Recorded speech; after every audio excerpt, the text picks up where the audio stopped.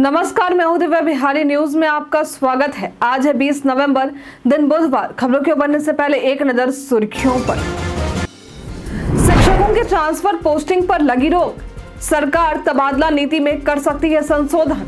नई और सरल तबादला नीति लागू होने की उम्मीद। दसवीं बारहवीं के परीक्षा फॉर्म भरने की बढ़ी तिथि। 25 नवंबर तक भर सकते हैं फॉर्म। 23 नवंबर तक करा सकते हैं रजिस्ट्रेशन। बिहार की राजगीर में भारत ने लहराया परचम। जापान को हराते हुए फाइनल में पहुँचा भारत। आज चीन के साथ होगा फाइनल मुकाबला।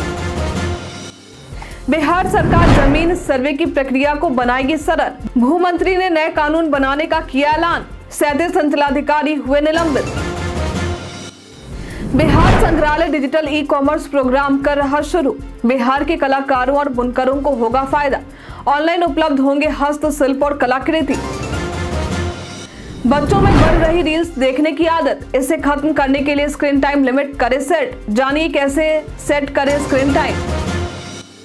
कृषि रोड मैप के अंतर्गत योजनाओं की हुई समीक्षा, किसानों को प्रोत्साहन राशि देने की हुई बात। वायु प्रदूषण कम करने पर भी होगा काम। चले बढ़ते अब तक के 25 बड़ी खबरों की ओर विस्तार से। Centre for development of advanced computing यानी सीडीएसई ने प्रोजेक्ट इंजीनियर समेत कई पदों पर भर्ती निकाले हैं। ये भर्ती कुल बहत्तर पदों के लिए इच्छुक उम्मीदवार इसके आधिकारिक वेबसाइट डब्ल्यू पर जाकर आवेदन कर सकते हैं। आवेदन प्रक्रिया शुरू है और आवेदन करने की अंतिम तारीख पाँच दिसंबर है। इस भर्ती के लिए ज़रूरी है कि उम्मीदवारों ने किसी मान्यता प्राप्त संस्थान से, कॉलेज से और विश्वविद्यालय से संबंधित विषय में इंजीनियरिंग या इससे संबंधित डिग्री हासिल की हो। भर्ती से संबंधित सटीक और अधिक जानकारी के लिए आप इसके आधिकारिक वेबसाइट और अधिसूचना को देख सकते हैं।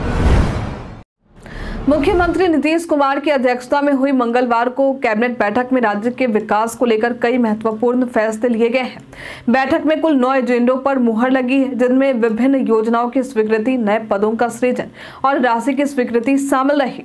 मुख्य निर्णयों में बिहार राज्य अल्पसंख्यक आवासीय विद्यालय योजना के तहत पटना और पश्चिम चंपारण में नए विद्यालयों के निर्माण के लिए पाँच हज़ार छः सौ पैंसठ दशमलव चार दो लाख रुपए और पाँच हज़ार सैंतालीस दशमलव सात चार लाख रुपए की प्रशासनिक स्वीकृति दी गई है।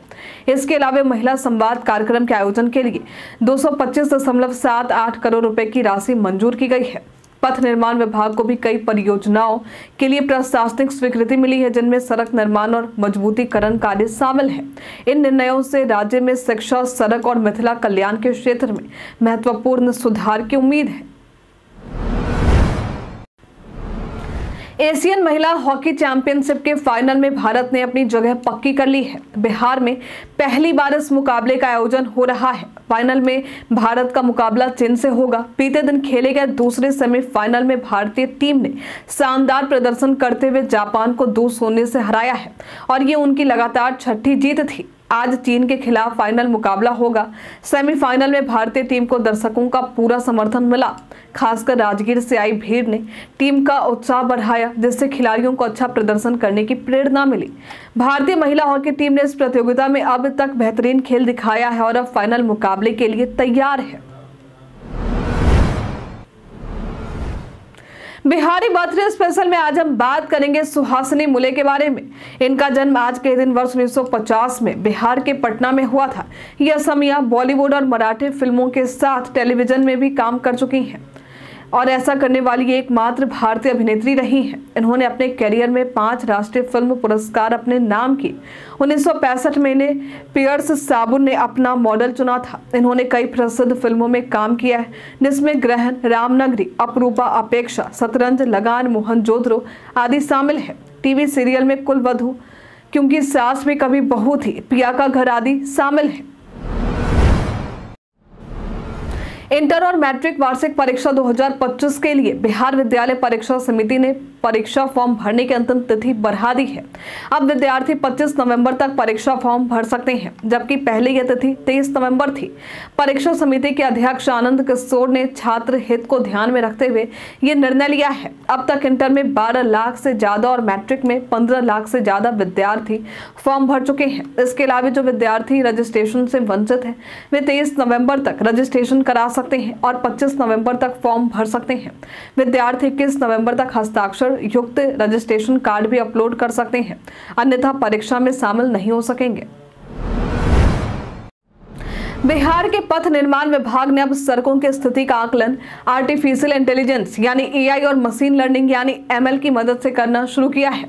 इस योजना के तहत 2000 किलोमीटर सड़कों को पायलट प्रोजेक्ट के तौर पर जोड़ा गया है। इस प्रणाली में सड़क के गड्ढे, दरारे बैरियर की स्थिति और अन्य समस्याओं को कोडिंग के रूप में मशीन लर्निंग सिस्टम में एक डाला गया है। एक विशेष वाहन में लगे सेंसर के माध्यम से ये प्रणाली सड़क पर घूमकर समस्याओं का पता लगाती है और रिपोर्ट तैयार करती है। रिपोर्ट के साथ संबंधित इंजीनियरों को भी अलर्ट किया जाता है। सबसे अहम बात यह है कि सड़क की मरम्मत के लिए फ़ोटो और जीपीएस डेटा की मदद से सही स्थान पर जाकर ही रिपोर्ट अपलोड की जाती है, जिससे फर्जी रिपोर्टिंग को रोका जा सके। बिहार में सरकारी शिक्षकों के लिए एक बड़ा अपडेट है। राज्य सरकार ने शिक्षकों के तबादला और पोस्टिंग पर फ़िलहाल रोक लगा दी है। शिक्षा मंत्री सुनील कुमार ने मंगलवार को ये जानकारी दी और कहा कि मुख्यमंत्री नीतीश कुमार के निर्देश पर राज्य सरकार तबादला नीति में संशोधन कर सकती है। अब तक केवल सक्षमता परीक्षा पास किए गए शिक्षकों के तबादले होंगे। इसके बाद एक नई और सरल तबादला नीति बनाई जा सकती है। शिक्षा विभाग द्वारा एक ऑनलाइन पोर्टल के माध्यम से स्थानांतरण के लिए आवेदन किए जा रहे थे। इसके अलावा पटना हाईकोर्ट ने भी इस मामले में सरकार से जवाब मांगा है और तबादला प्रक्रिया पर तीन सप्ताह तक रोक लगाई है। बिहार सरकार ज़मीन सर्वे की प्रक्रिया को सरल बनाने के लिए नया कानून लाने जा रही है। इस संबंध में राजस्व और भूमि सुधार मंत्री डॉक्टर दिलीप जायसवाल ने घोषणा की। उन्होंने कहा है कि मौजूदा भूमि सर्वे में असमंजस के कारण लोगों को परेशानियों का सामना करना पड़ रहा है। इसलिए इस प्रक्रिया की अवधि बढ़ाई गई थी। नए कानून से लोगों को भूमि सर्वे कराने में कोई परेशानी नहीं होगी। मंत्री ने यह भी कहा कि सभी राजस्व अधिकारियों को लंबित मामलों का निपटारा निर्धारित समय सीमा में करने के निर्देश दिए गए हैं। उन्होंने ये भी बताया कि विभाग में सुधार के लिए सैंतीस अंचलाधिकारियों को निलंबित किया गया है और बिरासी अन्य अधिकारियों पर कार्रवाई की गई है। इंस्टाग्राम पर रील स्क्रॉल करने की आदत अब बच्चों और बड़ों दोनों के लिए चिंता का कारण बन गई है। खासकर बच्चों के लिए, क्योंकि वे ज़्यादा समय सोशल मीडिया पर बिताते हैं, जो उनकी सेहत के लिए ठीक नहीं है। यदि आपका बच्चा भी दिन रात फ़ोन से चिपका रहता है तो आप कुछ सेटिंग्स का उपयोग कर सकते हैं, जो ज़्यादातर स्मार्टफ़ोन में उपलब्ध होते हैं। आप स्क्रीन टाइम लिमिट सेट कर सकते हैं, जिससे बच्चा किसी ऐप्स पर ज़्यादा समय नहीं बिता पाएगा। एंड्रॉयड फ़ोन में ये feature digital wellbeing and parental control में मिलता है। यहाँ आप ऐप के लिए टाइम लिमिट सेट कर सकते हैं, जैसे इंस्टाग्राम के लिए। इसके अलावा बेड टाइम और फोकस मोड जैसे विकल्प भी मिलते हैं, जो फ़ोन के अधिक उपयोग की आदत को कम कर सकते हैं। बिहार के माध्यमिक और उच्च माध्यमिक विद्यालयों में कार्यरत पुस्तकालय अध्यक्षों को अब ई शिक्षा कोर्स पोर्टल से जोड़ा जा रहा है।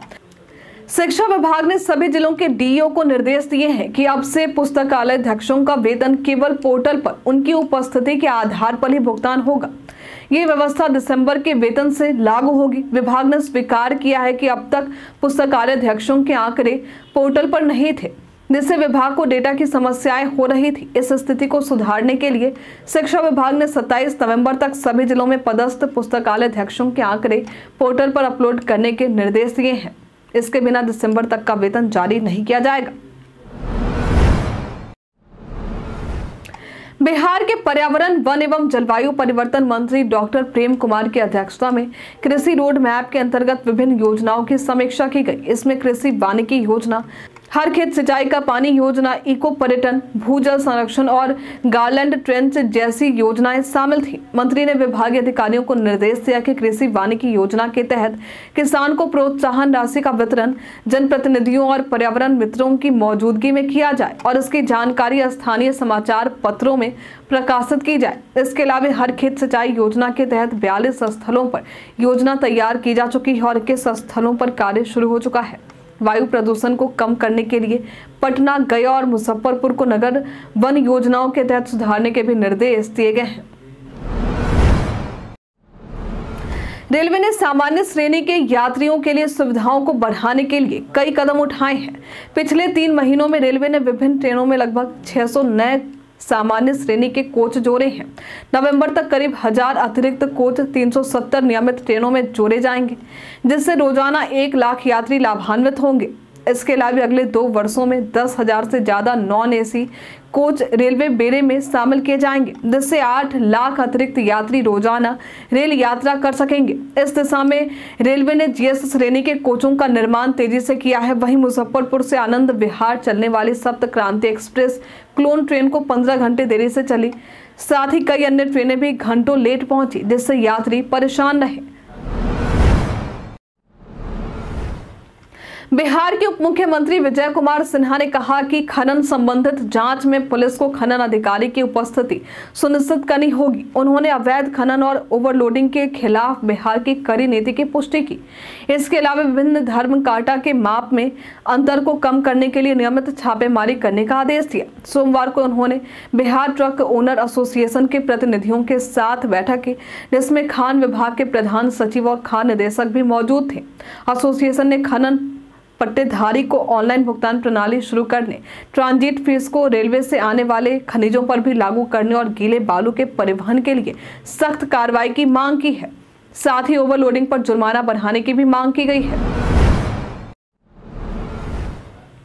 बिहार संग्रहालय अब एक डिजिटल ई कॉमर्स प्रोग्राम शुरू करने जा रहा है, जिसके तहत बिहार के कलाकारों और बुनकरों द्वारा निर्मित हस्तशिल्प और कलाकृतियाँ ऑनलाइन उपलब्ध होंगी। इस पहल का उद्देश्य देश विदेश में कला प्रेमियों तक बिहार के शिल्प और संस्कृति को पहुंचाना है।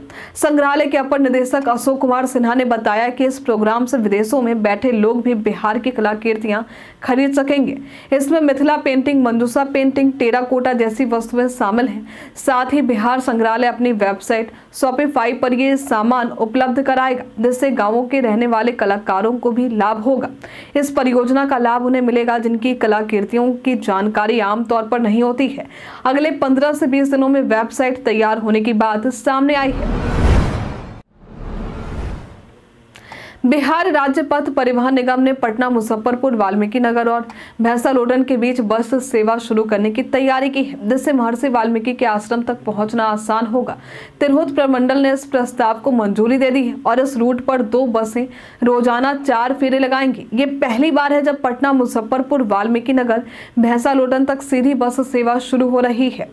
इसके अलावा सीतामढ़ी से पटना जाने वाली रोड पर भी नई बस सेवा शुरू की जाएगी, जो सरैया, जतकौली घाट, लालगंज से होकर चलेगी। साथ ही अरेराज से पटना के बीच भी नई बस सेवा का संचालन होगा, जो साहेबगंज और देवरिया होते हुए पटना पहुंचेगी।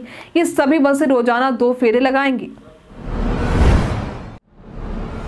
बिहार के मुंगेर में नौकरी के नाम पर ठगी के मामले की शिकायत सामने आई है। जमालपुर में बिरासी लोगों ने पुलिस से कार्रवाई की मांग की। जिनमें से कई ने लाखों रुपए निवेश किए थे। Jollywood industries private limited company के एमडी जितेंद्र कुमार राजीव और उसके सहयोगी फरार हो गए हैं। कंपनी ने निवेशकों से पैसे लेकर उन्हें यूट्यूब वीडियो देखने के नाम पर वेतन देने का झांसा दिया था। कुछ समय तक लाभ भी दिया, लेकिन बाद में रकम लेकर कंपनी के ऑफ़िस और घर पर ताला लगा दिया। करीब 600 लोग 15 से 20 करोड़ रुपए की ठगी का शिकार हुए। पुलिस ने ऑपरेटर धीरज कुमार को हिरासत में लिया है और अन्य आरोपियों की तलाश जारी है। बिहार में अगले एक महीने तक बिहार में अगले महीने एक अत्याधुनिक दो इंजन वाले हेलीकॉप्टर का आगमन होने जा रहा है, जो वीवीआईपी और वीआईपी कैटेगरी के लोगों के लिए उपलब्ध है। ये हेलीकॉप्टर पटना एक दिसंबर को पहुंचेगा और एक वर्ष तक बिहार सरकार के पास रहेगा, जिसे लीज पर मंगवाया जा रहा है। ये हेलीकॉप्टर हर महीने पच्चीस घंटे की उड़ान भरेगा और अगर सेवा संतोषजनक रही तो इसे तीन महीने के लिए बढ़ाया जा सकता है। राज्य सरकार ने यह सुनिश्चित किया है कि हेलीकॉप्टर की रख रखाव ज़िम्मेदारी लीज पर लेने वाली कंपनी की होगी। इसके अलावा राज्य सरकार उड्डयन क्षेत्र को अत्याधुनिक, आधुनिक बनाने के लिए, पायलट प्रशिक्षण के लिए नवीनतम फ़्लाइट सिमुलेटर खरीदने की भी योजना बना रही है। बिहार में लगातार घने कोहरे का प्रभाव बढ़ता ही जा रहा है। प्रदेश के कई जिलों में धुंध देखने को मिल रही।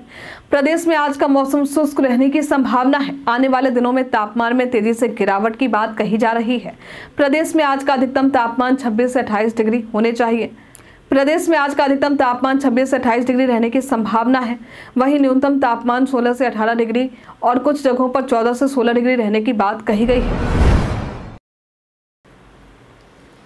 किशनगंज के बहादुरगंज पुलिस ने एक बड़ी शराब तस्करी को उजागर किया है। पुलिस ने एक तेल टैंकर से भारी मात्रा में शराब की खेप जब्त की, जिसमें चार लीटर विदेशी शराब शामिल थे।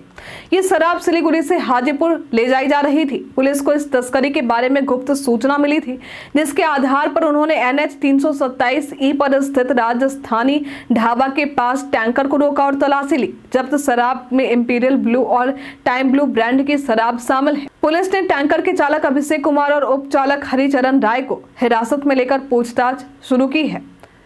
इस मामले में थाना कांड संख्या तीन सौ दर्ज कर कार्रवाई जारी है। National council for teacher education, यानी एनसीटी, अगले साल से चार वर्षीय बीएड कोर्स में योग और संस्कृत विषय भी जोड़ने की योजना बना रहा है। अब तक इस कोर्स में साइंस, आर्ट्स और कॉमर्स के विषय होते थे, लेकिन इन नए विषयों को, के जुड़ने से कोर्स में विविधता आएगी। इस कोर्स के तहत पूरे बिहार में चार कॉलेज चल रहे हैं, जो B R A B U जो B R A B U से जुड़े हैं और हर साल 400 सीटों पर दाखिला होता है। एनसीटी सभी बीएड कॉलेजों को इंटीग्रेटेड बीएड में बदलने की तैयारी कर रहा है। इसके लिए कॉलेजों की आधारभूत संरचना और शिक्षकों की जाँच की जा रही है। इसके अलावा साइंस लैब की सुविधा भी दी जाएगी और प्रशिक्षु शिक्षकों को डिजिटल तकनीक के उपयोग की ट्रेनिंग भी दी जाएगी। बिहार सरकार ने मैथिली को शास्त्रीय भाषा का दर्जा देने के लिए केंद्र सरकार को प्रस्ताव भेजा है। राज्य शिक्षा विभाग ने इसे शास्त्रीय भाषा की सूची में शामिल करने की मांग की है। जदयू के कार्यकारी अध्यक्ष और राज्यसभा सांसद संजय झा ने इस जानकारी को साझा करते हुए कहा कि इससे मैथिली के संरक्षण और संवर्धन में मदद मिलेगी और मिथिला तथा बिहार की भाषाई धरोहर का सम्मान होगा। शिक्षा मंत्री सुनील कुमार ने केंद्रीय गृह मंत्री अमित शाह को पत्र लिखकर बताया कि मैथिली की लिपि परंपरा समृद्ध है और ये भाषा 2000 साल पुरानी है, जो अब तक शिक्षा, प्रशासन और संस्कृति में महत्वपूर्ण भूमिका निभा रही है। बिहार विधानसभा चुनाव 2025 को लेकर मुख्यमंत्री नीतीश कुमार अपनी राज्यव्यापी यात्रा शुरू करने जा रहे हैं, जो शीतकालीन सत्र के बाद दिसंबर के पहले हफ़्ते से शुरू होगी। इस यात्रा के दौरान मुख्यमंत्री मुख्यमंत्री इस यात्रा के दौरान सीएम नीतीश कुमार मुख्यमंत्री संवाद कार्यक्रम के तहत महिलाओं से संवाद करेंगे। उनकी समस्याएँ सुनेंगे और जीविका दीदियों से भी बातचीत करेंगे। ये कार्यक्रम हर ज़िले में आयोजित होगा, जिसमें संबंधित मंत्री और प्रभारी मंत्री भी शामिल होंगे। राज्य सरकार ने इस यात्रा के लिए दो सौ पच्चीस करोड़ अठहत्तर लाख रुपए खर्च करने की मंजूरी दी है। बिहार कैबिनेट की हालिया बैठक में इस योजना को अंतिम रूप दिया गया है। बीते दिन राष्ट्रीय लोक जनशक्ति पार्टी यानी आरएलजेपी की दो दिवसीय राज्य कार्यकारिणी की पहली बैठक हुई, जिसमें पार्टी के नेताओं ने राष्ट्रीय अध्यक्ष पशुपति कुमार पारस के सामने कई अहम मुद्दों पर चर्चा की। नेताओं ने बिहार 2025 विधानसभा चुनावी रणनीति, गठबंधन बंधन और पार्टी के भविष्य पर अपने विचार रखे। पूर्व सांसद चंदन सिंह ने एनडीए में पार्टी की अनदेखी का मुद्दा उठाया, जबकि कई नेताओं ने दो हज़ार पच्चीस में अकेले चुनावी मैदान में उतरने की सलाह दी। पार्टी के प्रवक्ता मनीष आनंद ने कहा कि एनडीए में लगातार उपेक्षित होने के कारण अब पार्टी को खुद को फिर से खड़ा करने की ज़रूरत है। हालाँकि सभी ने अपने अध्यक्ष पर भरोसा जताते हुए उनका समर्थन किया और उनके फैसले का स्वागत किया। कई कारणों से दर्ज है भारत के इतिहास में आज की तारीख। आज के दिन वर्ष 1917 में कोलकाता में बोस अनुसंधान संस्थान की स्थापना हुई थी। आज के दिन वर्ष 1981 में भास्कर उपग्रह को छोड़ा गया था। आज के दिन वर्ष 2008 में अदन की खाड़ी में अपने व्यावसायिक जहाजों की रक्षा के लिए भारत ने गाइडेड मिसाइल युक्त एक विध्वंसक जहाज़ को भेजा था। आज के दिन वर्ष उन्नीस सौ नवासी में बबीता फोगाट का जन्म हुआ था। ये एक भारतीय महिला फ्री स्टाइल पहलवान है। आज के दिन फ्लाइंग सिख के नाम से प्रसिद्ध मिल्खा सिंह का वर्ष उन्नीस में जन्म हुआ था। सोशल मीडिया पर वायरल हो रहे खबरों में दावा किया जा रहा है कि भारत सरकार ने केंद्रीय कर्मचारियों की रिटायरमेंट आयु में दो साल की वृद्धि करने का निर्णय लिया है। लेकिन आपको बता दें कि यह दावा पूरी तरह से फर्जी है। भारत सरकार द्वारा ऐसा कोई निर्णय नहीं लिया गया है।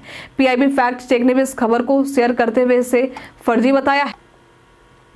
हम प्रतिदिन आपसे पाँच ऐसे ज़रूरी सवाल पूछेंगे और उसका जवाब बताएँगे, जो कि बीपीएससी बिहार पुलिस, दरोगा समेत एसएससी जैसे अन्य प्रतियोगी परीक्षाओं में काम आएँगे। सवाल इतिहास, बिहार स्पेशल विज्ञान, करंट अफेयर्स और भूगोल से रहेंगे। पूछे गए पाँच सवालों में आपने कितना सही उत्तर दिया है, हमें कॉमेंट में लिखकर ज़रूर बताएँ। तो हमारा पहला सवाल है, हाल ही में किसने वाई भारत मैटर्स पुस्तक का विमोचन किया है? ऑप्शन ए है एस जयशंकर, ऑप्शन ए है नरेंद्र मोदी, ऑप्शन सी है पीयूष गोयल, ऑप्शन डी है जगदीप धनखड़ इसका सही उत्तर है एस जयशंकर हाल ही में सोलहवा इंडियन गेम डेवलपर हाल ही में सोलहवा इंडिया गेम डेवलपर सम्मेलन कहाँ शुरू हुआ है? ऑप्शन है मुंबई, ऑप्शन बी है गुरुग्राम, ऑप्शन सी है हैदराबाद, ऑप्शन डी है बैंगलोर। इसका सही उत्तर है हैदराबाद। हाल ही में किसने महिला विश्व बिलीडियर्स चैंपियनशिप का खिताब जीता है? ऑप्शन है सुमा शिरूर, ऑप्शन बी है कीरत भंडाल, ऑप्शन सी है एल श्रुति, ऑप्शन डी है माधुरी बर्थवाल इसका सही उत्तर है एल श्रुति। होम रूल कार्यकर्ता बाल मुकुंद वाजपेयी ने किस पुस्तिका की रचना की थी? ऑप्शन ए है स्वराज कथा। ऑप्शन बी है भारत माता की जय। ऑप्शन सी है होम रूल कथा। ऑप्शन डी है तिरहुत समाचार। इसका सही उत्तर है स्वराज का था बेगूसराय में चौकीदारी करके विरुद्ध आंदोलन निम्न में से किसका एक हिस्सा था? ऑप्शन ए है असहयोग आंदोलन। ऑप्शन बी है सविनय अवज्ञा आंदोलन। ऑप्शन सी है भारत छोड़ो आंदोलन। ऑप्शन डी इनमें से कोई नहीं। इसका सही उत्तर है सविनय अवज्ञा आंदोलन। बीते दिन हमारे द्वारा पूछे गए सवाल का आप लोगों में से बहुत सारे लोगों ने अपना जवाब हमें हमारे कमेंट सेक्शन बॉक्स में लेकर दिया है। जिन्होंने हमारे द्वारा पूछे गए सवाल का जवाब जिनके नाम है। मोहम्मद जेम्स, सुहाना अहमद खान, राजीव कुमार, अभिमन्यु कुमार, अनामिका कुमारी, प्रदीप पंडित, प्रतिभा कुमारी, छोटू राजा, रंजीत मिश्रा, सपना कुमारी, जयप्रकाश, राजकिशोर महतो, निक्कू कुमार यादव, संजीव कुमार, विवेक मिश्रा, संजय कुमार, अशोक कुमार, अंजनी सिन्हा, अनवर करीम खान। इसी के साथ बढ़ते आज के सवाल की और आज का सवाल है कि आपके क्षेत्र में भी ज़मीन सर्वे से संबंधित कोई परेशानी आई है या नहीं? आप अपना जवाब हमें कमेंट में लिखकर ज़रूर बताएँ। आज के लिए इतना ही। बिहार के तमाम खबरों के साथ बने रहने के लिए देखते रहे बिहारी न्यूज़। और साथ ही अगर आप यूट्यूब से देख रहे हैं तो चैनल को लाइक करना और सब्सक्राइब करना फेसबुक देख रहे हैं तो पेज को फॉलो करना ना भूलें। धन्यवाद।